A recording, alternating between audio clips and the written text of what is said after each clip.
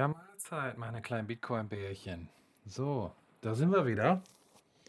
Heute mh, werden wir mal einen kleinen BTC-Ticker konfigurieren. Dafür gehen wir nach GitHub und da sucht ihr unter BTC-Ticker folgenden Beitrag von Holgern. Ähm, soweit ich das sagen darf, sage ich jetzt einfach mal. Den Holger 80 findet ihr auch äh, bei 21. Der hat mich nämlich auf diesen Link gebracht. Wir scrollen hier einfach mal ein bisschen runter. Hier gibt es ein paar Bilder zum Gucken, welche ähm, Interfaces alle abgefragt werden können über die Knöpfe, die ihr hier an der Seite seht, die kleinen Schalter. Und wenn ihr noch kein Raspberry, äh, kein Raspberry 3, 4, whatever habt, könnt ihr hier ein bisschen Hardware für kleines Geld erwerben über Berrybase. Fangen wir an mit dem Display, knapp 19 Euro. Dann gehen wir rüber zum, ähm, zum Board. Hier kommt die SD-Karte rein, HDMI-Anschluss und zwei kleine USB-Anschlüsse für ein Power Supply. Ähm, beziehungsweise gibt es ja auch einen Adapter für, den habe ich mir nämlich noch bestellt. Da warte ich aber noch drauf. Ähm, für einen Ethernet-Anschluss. Einfach mal zum Testen weil das Ganze wird nachher ausschließlich eigentlich über WLAN betrieben. So, was brauchen wir noch? Genau, Netzteil kriegt ihr hier auch für 3,20 Euro, also für eine schmale Mark. Am Ende ganz wichtig, eure SD-Karte könnt ihr auch gleich erwerben. Und zum Schluss wird hier noch ein Link angeboten, angepriesen für ein Case. Ich habe mir meinen selber gedruckt. Ähm, kann man aber dann auch optional für eine schmale Mark bekommen. Genau. Ein paar News, so wofür die Buttons sind, könnt ihr euch dann noch durchlesen. Ein Config-File, hier könnt ihr später noch über diese Syntax ähm, ein paar Settings vornehmen. Aber da gehe ich jetzt erstmal nicht drauf ein, sondern wir machen erstmal mit den Basics weiter. Hier BTC Ticker, dieses Image bitte herunterladen und anschließend mit äh, zum Beispiel Balena oder irgendeinem anderen Tool, bitte auf die SD-Karte schreiben. Also wie gehabt, ja, ich nehme hier so einen Raspberry Pi Imager, das OS wählen, scrollt ihr einfach nach unten, eigenes Image wählen, das Image auswählen, BTC-Ticker 1,3 GB, einmal oben rechts auf Öffnen klicken. Und in der Mitte SD-Karte auswählen, hier dann eure SD-Karte aussuchen, die ihr im Slot drin stecken habt und dann mit Schreiben einfach flashen. Wie gehabt, alle Daten gehen dann einmal verloren, die da vorher drauf sein sollten. Gut. Wenn ihr dann soweit seid und habt das Ganze in den SD-Slot reingeschoben und das Gerät ist an, gebt dem Ganzen ein bisschen Zeit. Genau. Und bevor ihr das Device entfernt, müsst ihr noch eine Textdatei auf dem auf der SD-Karte hinterlassen. Und zwar sieht das Ganze dann so aus. Ja, hier oben den Ländercode habe ich schon angepasst. Hier kommt dann euer Name rein von eurem WLAN. Bitte hochkommen lassen. Bei unter PSK euer Kennwort. Auch hier bitte hochkommen lassen. Ich habe zusätzlich noch Key-MGMT hinzugefügt, ähm, ja, um abzufragen, beziehungsweise um zu definieren, dass hier WPA benutzt wird. Ähm, ohne hat es jetzt direkt nicht so auf Anhieb bei mir geklappt. Im eigentlichen Tutorial wird das auch eigentlich nicht vonnöten sein. Ich springe mal eben an den Punkt.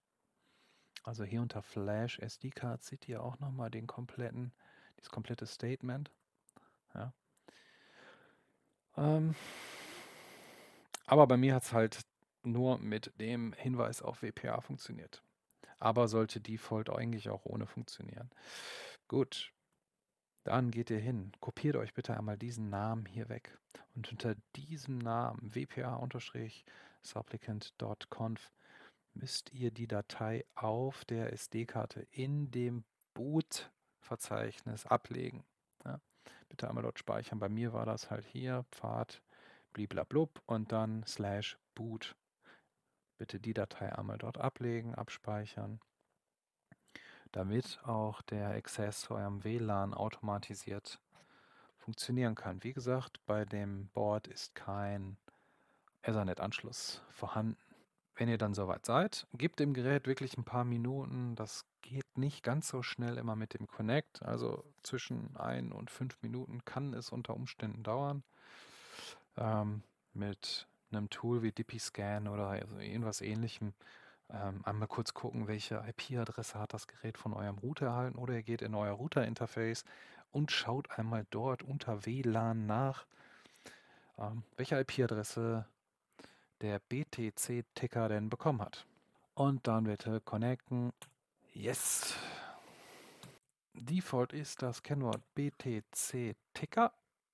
Das könnt ihr aber auch hier ablesen. Und da ganz einmal, äh, ja gut, wer es haben will, wer es möchte, SSH-Kennwort bitte einmal ähm, anpassen. Wie gesagt, hier auch nochmal das Statement zum Connecten, Password und hier Pi root admin neue Kennwörter bitte vergeben. So, ich habe jetzt mal eben schnell noch das Kennwort geändert, beziehungsweise die drei Kennwörter, also wirklich einfach wie hier im Text zu sehen ist, ab Echo ähm, einfach die Sachen eingeben. Natürlich bei New Password bitte das gewünschte Passwort von euch eintragen. Ähm, bitte auf Leerzeichen und so weiter achten. Eine Abweichung von dieser Syntax bedeutet natürlich einen Fehler zu provozieren. Genau. Dann steht hier oben noch, ihr könnt noch hier ein Shell-Script ausführen. Ähm, ich habe das hier mal kurz eingeblendet, was da drin steht. Ähm, braucht ihr aber auch nur ausführen, wenn ihr dieses Device abgeben solltet, rausgeben solltet. Ja, wenn ihr das für euch selber braucht, dann braucht ihr dieses Shell-Skript hier nicht ausführen. Genau. Und ja, eigentlich äh, nach dem erfolgreichen Login dauert das ein Weilchen. Bei mir hat es ein paar Minuten gedauert, bis das, äh, bis der Bildschirm auch aktiv wurde. Also wundert euch nicht, wenn ähm, ihr eine ganze Zeit lang einfach einen dunklen Bildschirm habt, beziehungsweise der ist ja default hell. Wenn da nichts drauf passiert, nicht wundern. Generell die ganze Chose ist, ähm, ja, die muss man einfach, man muss einfach sagen, von der Performance her ist das jetzt hier kein, keine rasend schnelle Aktion. Also wirklich Geduld mitbringen, Käffchen machen und dann läuft das eigentlich. Und der Holger, der Gute, also nicht der eine Holger mit seinem ETH, sondern der andere Holger, ähm, der hat mir noch angeboten, demnächst was für den Mempool vorzubereiten. Da hatte ich, da hatte ich den Wunsch geäußert, weil das ganz spannend wäre, wenn man die Fees denn sehen könnte. Also ähm, Low, Middle and High. Gerne vielleicht noch die Difficulty, ähm, vielleicht den, was, was in den letzten zwei Blöcken an Transaktionskosten zusammengekommen ist. So riesig ist das Display jetzt ja auch nicht. Aber es wäre ganz nett, unter einem der vier Buttons halt diese Option auch noch reinzulegen. Ähm, wenn man sowas dann nett im Büro oder sonst wo stehen hat und man hat da so ein Auge drauf und sieht, oh, schön, ähm, Mempool sieht gut aus, gleich mal eine Transaktion noch starten, solange man noch nicht in Lightning ist. Zwinker, zwinker, Full Node ist ein Must-Have. Ähm, Genau, dann ist das eigentlich ein ganz nettes, nerdiges Ding. Also kein Must-Have, aber ist auf jeden Fall eine schöne Spielerei und kann ich nur empfehlen. So, hier nochmal ein paar Eindrücke. Rechts seht ihr gleich eine Anschlussmöglichkeit für einzelne Kabel. Hier in weiß gehalten, falls ihr das Board und das Display nicht zusammenstecken könnt. Rechts einmal die SD-Karte, dort ist der Slot und dann hier den schwarzen Balken, da bitte die Pinne aufeinander setzen, vorsichtig und die Sachen verheiraten. Hier nochmal zwei Display-Menüs.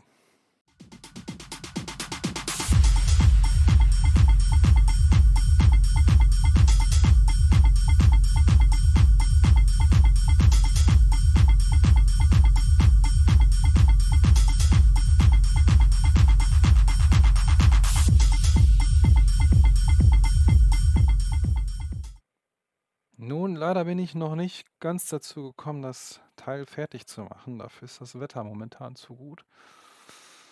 Ähm, aber hier auf der Seite, den Link werde ich auch in den Notes verteilen, habe ich quasi die Vorlage her. Fand ich ganz schick.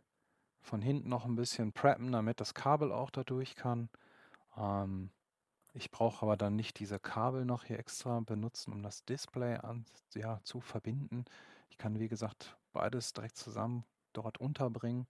Und genau, dem Ganzen wollte ich noch so einen kleinen Deathwatch-Look bringen. Aber das mache ich, wenn Regen kommt. Hier oben sind ein paar Löcher, da kann man noch ein paar LEDs mit verbinden, je nachdem, was man an Bord machen möchte. Genau, hier die 3D-Vorlage, wenn die jemand haben möchte.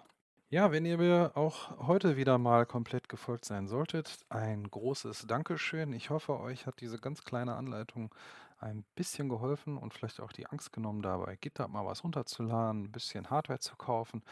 Einfach eine kleine Tech-Spielerei, die natürlich auch produktiv genutzt werden kann. Wir wollen ja keinen Quatsch kaufen. Und wir sehen uns das nächste Mal. Also bis dahin schön Satz stapeln, Sonne genießen und einfach mal die Seele baumeln lassen.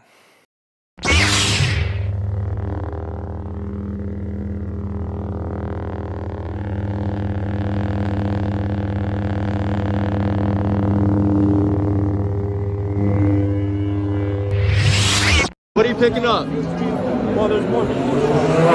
Shit coins are scams!